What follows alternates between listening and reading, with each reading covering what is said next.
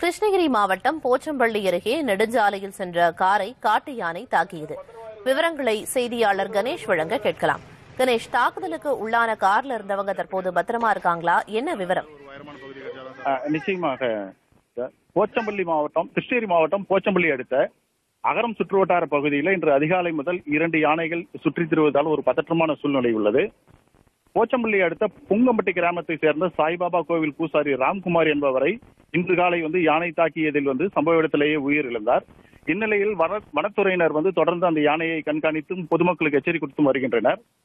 இந்நிலையில வந்து சப்பானப்பட்டி அருகே தருமபுரி கிருஷ்ணகிரி தேசிய நெடுஞ்சாலையை யானைகள் கடக்க முயன்ற முயன்றபோது அவ்வழியே வந்த காரை தாக்கியது. இது காரில் இருந்த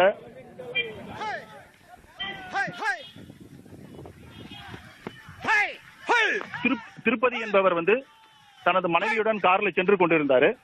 திடீரென யானை வந்ததை அறியாமல் அவர் அதிர்ச்சியில காரை நிறுத்திருக்கிறாரு அப்போது யானை வந்து காரை தாக்கியதுல வந்து கார் வந்து டயர் எல்லாம் பஞ்சர் ஆகி தூக்கி வீசப்பட்டது. இதில் நிலை குலைந்த திருப்பதி வந்து செய்து தெரியாது தவித்தார்.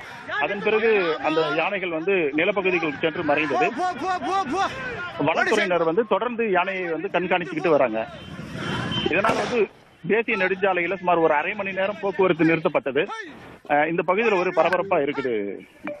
கணேஷ் அந்த பகுதிக்கு வனத்துறை அலுவலர்கள் வந்திருக்காங்களா? நெடுஞ்சாலைகளை சுற்றித் திரிகிற யானைகளை காட்டுக்குள்ள விரட்டுற முயற்சியை ஏதேனும் மேற்கொண்டிருக்காங்களா? ஆமா தொடர்ந்து வனத்துறையினர் வந்து யானையினுடைய நடமாட்டத்தை கண்காணித்துக் கொண்டுதான் இருக்கின்றனர். அதை வனத்துக்குள் விருட்டும் பகுதியை வந்து தொடர்ந்து அவங்க அந்த பணியை செஞ்சுக்கிட்டு தான் இருக்கிறாங்க. அந்த பகுதி மக்களுக்கு ஏதேனும் அறிவுறுத்தல்கள் வழங்கப்பட்டிருக்கா? முன்னெச்சரிக்கையாக கார்களில் செல்லும் வனத்துறையினர் வந்து ஆங்காங்கே வந்து பொதுமக்கள் வந்து பாதுகாப்பாக இருக்கணும். உங்கள் பகுதியில் திடீரென யானை வந்திருக்கிறது.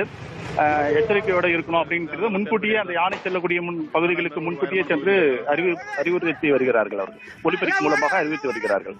விவரங்களை வழங்கியதற்கு நன்றி கணேஷ்.